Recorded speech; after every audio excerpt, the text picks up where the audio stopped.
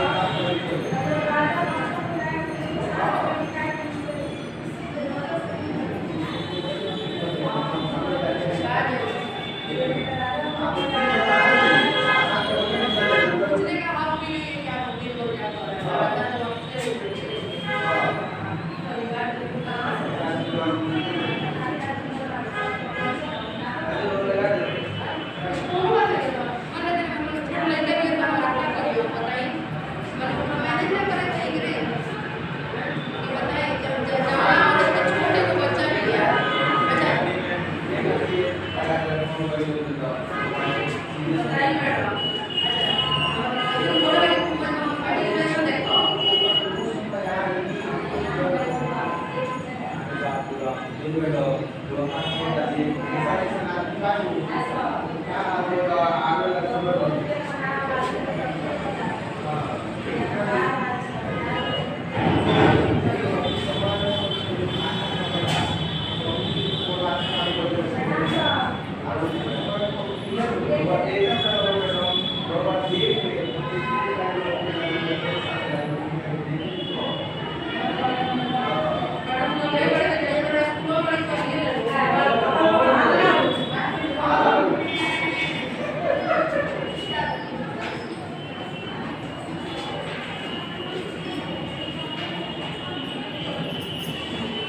विश्लेषण के भेद के दो दो परिभाषा हूँ।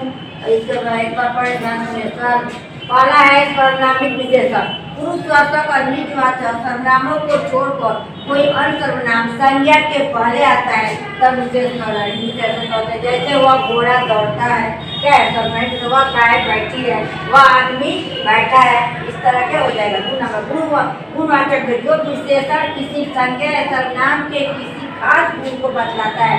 उसे गुणवाचक विशेषण का जैसे स्थान, आकार रंग दाता के आधार पर की है कोई स्थान है, कोई मंदिर है कोई जगह है, कोई दुकान है, उसका गुण बताता है। उसे विशेषण है या दो इसके विशेषण के चार भेद है लेकिन दो भेद के परिभाषा आप लोग का लिख दूँ और दो ठो का, और परिभाषा आप लोग लिखेंगे, इसे कॉपी में नोट कर लीजिए। तुम मन लगा के पढ़िए फ्रेम तैयार करके रखिएगा। स्कूल खुलने पर कॉपी की जाँच की जाएगी। आज के वीडियो इसमें ओके, धन्यवाद।